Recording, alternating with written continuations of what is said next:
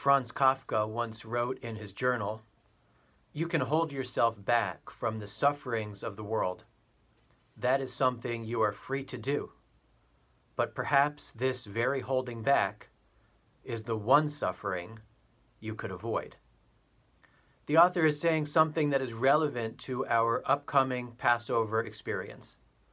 While we are required to and should retell and focus on our story of slavery and liberation, to stop there is to miss the point, the relevance and the importance of this beloved holiday. How do we take on that challenge? It is easier than ever.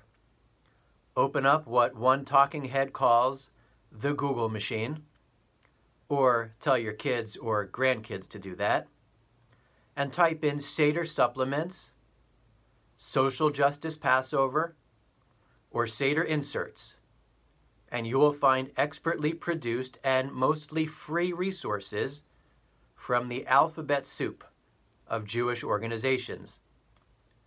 This Shabbat, called Shabbat HaChodesh, we begin to focus more closely on the holiday now just two weeks away.